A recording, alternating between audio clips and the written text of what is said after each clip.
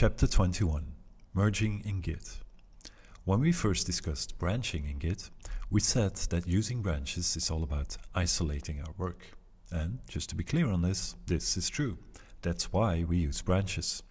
However, isolation is almost always a temporary state. We don't want to isolate our work in perpetuity. We want to go on a little journey to work on something without having to worry about any other changes. But when we're ready for it, we like to come back and contribute the fruits of our labor somehow. In Git, we call this merging, and it is the exact opposite of branching. When we branch, a river splits in two. When we merge, we rejoin two branches of a river so that they become together again. Depending on how much our branches have diverged, merging them back together can be anything from straightforward to pretty complicated.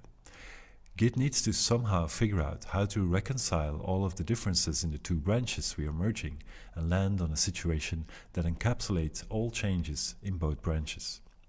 Quite often, Git will figure it out on its own. Sometimes, though, it won't be able to and rely on us to tell us what to do. Before we get to that, Let's start with some simpler examples of merging in the next chapter.